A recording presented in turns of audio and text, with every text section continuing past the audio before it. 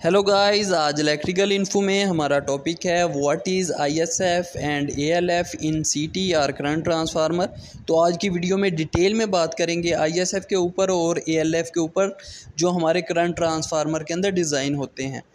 तो उसकी तरफ़ जाने से पहले आपको पता होना चाहिए कि जो नॉर्मल कंडीशन होती हैं, उसमें हमारा करंट ट्रांसफार्मर जो है वो क्या कर रहा होता है, वो basically higher value of primary current को ट्रांसफॉर्म करता है lower value of secondary current में, ताकि उससे हम क्या कर सकें, दो मेन काम कर सकें। एक तो मीटरिंग करवा सकें, यानी मेज़रमेंट ऑफ़ करंट करवा सकें, और दूसरा जो है प्रोटेक्शन पर्पसेस के लिए उसे इस्तेमाल कर सकें।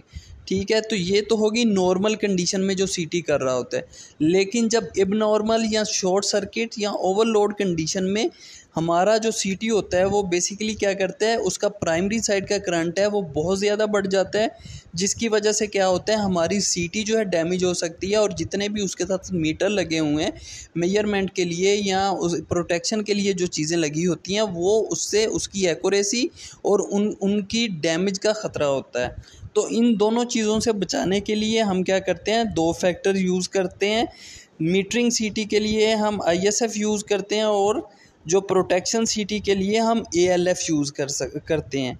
तो आई एस एफ़ जो है, वो बेसिकली इंस्ट्रूमेंट सेफ्टी फैक्टर है, जो हम मेयर मेयरमेंट सीटी के लिए इस्तेमाल करते हैं। तो इसका नाम से ही आपको पता चलना चाहिए कि जो इंस्ट्रूमेंट सेफ्टी फैक्टर है, वो बेसिकली इंस्ट्रूमेंट जो मीटरिंग के लिए हम इस्तेमाल करते हैं, उसकी सेफ्टी के लिए हम इस्तेमाल कर रहे होते हैं। यानी कि वो उनको डैमेज नहीं होने देता और उससे पहले सेचुरेशन करवा देता है। और नंबर टू जो है एक्यूरेसी लिमिट फैक्टर ये बेसिकली कर रहा होता है, ये हमारे सीटी की जो एक्यूरेसी है, उसको बरकरार रखता है एक ख़ास लिमिट तक।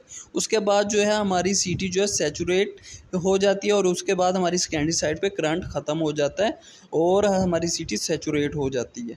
तो अब इन पे जो है, बात कर लेते हैं। ये आपको दो नेम प्लेट नज़र आ रही हैं, हमारे दो डिफरेंट सिटीज़ की। तो इसमें जो है, हम, मैंने सर्कल और ये बॉक्स सा बनाया हुआ है। तो इसमें आप देखें आईएसएफ जो है इंस्ट्रूमेंट सेफ्टी फैक्टर वो स्मॉलर देन फाइव है।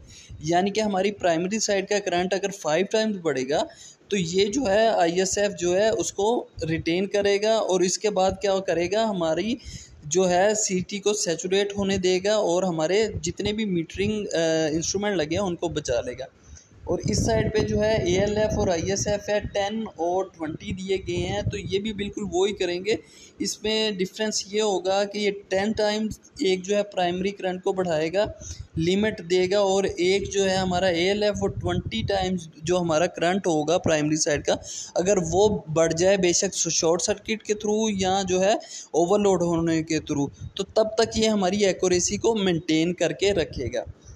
तो अब सेपरेटली इन पे बात कर लेते हैं, जो इंस्ट्रूमेंट सेफ्टी फैक्टर है, जो बेसिकली हम सिर्फ़ अपनी मीटरिंग सीटी के लिए इस्तेमाल करते हैं, उसका जो मेन फार्मूला है, वो है I S F equal to होता है ratio of maximum instrument limit primary current divided by rated primary current तो इसका मकसद ये है कि जो हमारे इंस्ट्रूमेंट की लिमिट होगी मैक्सिमम लिमिट होगी प्राइमरी साइड पे डिवाइडेड बाय जो रेटेड प्राइमरी होगा, जो हमारा नॉर्मल प्राइमरी करंट होगा, उसकी जो रेशो होगी, उसको हम इंस्ट्रूमेंट सेफ्टी फैक्टर कह रहे होंगे।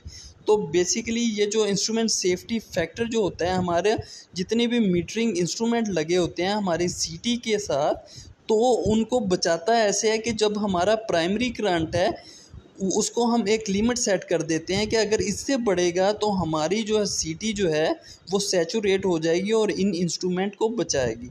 तो बेसिकली ये जो है मीटरिंग सिटी के लिए डिज़ाइन किया जाता है आईएसएफ और नॉर्मली ये पाँच या दस से कम होता है।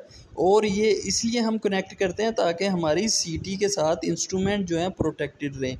जैसे राइट साइड पे आपको नज़र आ रहा है, जो आईएसएफ है वो स्मॉलर देन टेन है। और प्रोटेक्शन के लिए एन ए है, क्योंकि हम प्रोटेक्शन के लिए आई एस एफ़ इस्तेमाल नहीं करते।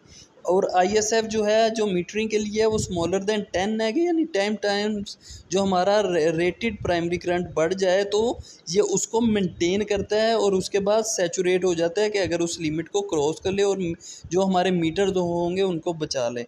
और जो ए एल एफ़ है, वो जो है मीटरिंग में एन है, यानी कि ए एल एफ़ का जो ताल्लुक है, वो मीटरिंग के साथ नहीं है और इसका जो है प्रोटेक्शन के साथ इसका जो है ताल्लुक है। तो आप ए एल एफ़ के ऊपर बात कर लेते हैं तो बेसिकली ए एल एफ़ जो है, यानी एक्यूरेसी लिमिट फैक्टर जो एक्यूरेसी को जो है, वो मेंटेन करता है एक लिमिट तक तो ये हम प्रोटेक्शन सीटी के लिए इस्तेमाल करते हैं।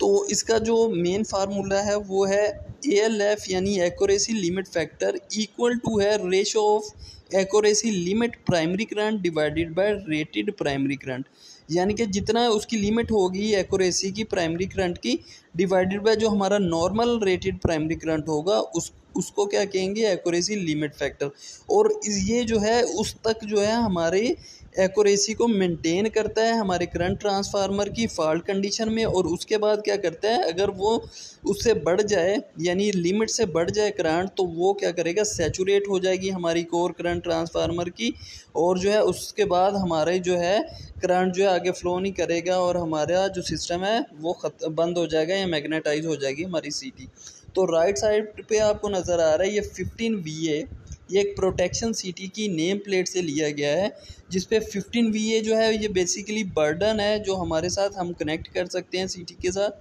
फाइव पी जो है बेसिकली ये है एक्यूरेसी क्लास यानी कि इसमें जो है फाइव परसेंट जो है एरर आ सकते हैं। पी फॉर प्रोटेक्शन है, क्योंकि ये प्रोटेक्शन सिटी का है, और टेन जो है एक्यूरेसी लिमिट फैक्टर है। यानी कि हमारा जो प्राइमरी करंट है, अगर टेन टाइम्स बढ़ जाए तो उस तक ये जो है हमारी एक्यूरेसी है, वो मेंटेन रह सकती है। इसके बाद हमारी एक्यूरेसी जो है, वो ख़राब हो जाएगी अगर टेन टाइम्स प्राइमरी करंट से हमारा जो करंट है, बढ़ जाए। तो होप आपको पता चल गया होगा कि ए एल एफ़ और आई एस एफ़ क्या चीज़ है और हम इसे सिटी में क्यों इस्तेमाल करते हैं। अगर वीडियो अच्छी लगे तो हमारी वीडियो को लाइक ज़रूर कर दें।